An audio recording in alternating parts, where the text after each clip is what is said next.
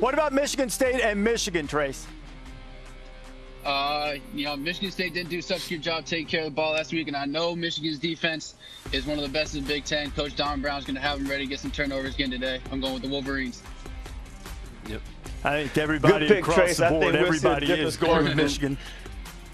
Yeah, Yeah. well, we'll, we'll uh, everybody's going with maize and blue right now.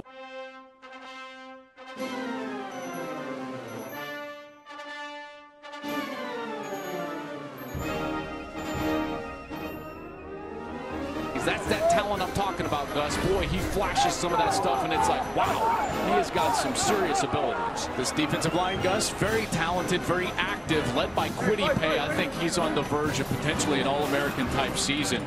Their second level, very experienced. And then you've got a very good secondary, albeit young at the corner position with Green and Gray. We know the arm, the, the arm talent on film oozes, but for me it's the legs and his ability to run the football. And I think that's what makes him such a unique weapon for this offense moving forward. And But the weapons between Corum and Al and Jackson, all those guys that we talked about, and then you go to the running backs, we can go three or four deep with them. So a lot of weapons. He makes everybody better.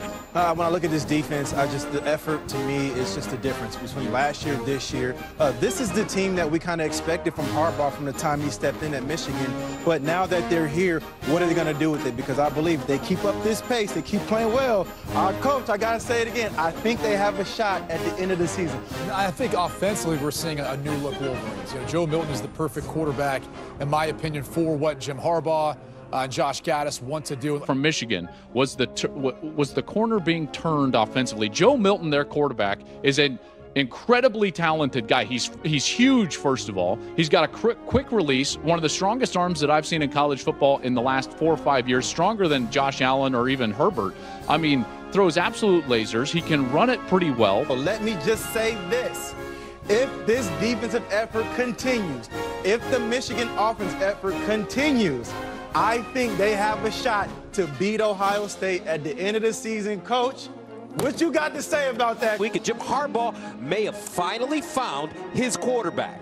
This young man from Pahokee, Florida, is no average Joe. Whew. Reg, Reg, listen, man, I'm right there with you, man. I'm bullish on the Michigan defense as well, but in particular, one player. Now, I already put him in the Heisman Club, but you know what? Now I got to show you why. On the outside, they're skill position players. Speed, speed, and more speed.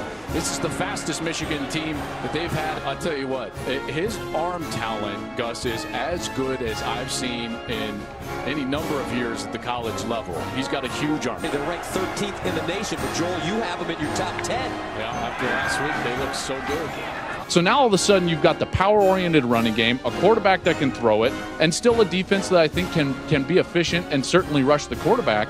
This may be Jim Harbaugh's best Michigan team. I'm bullish on Michigan after watching them last week. All right.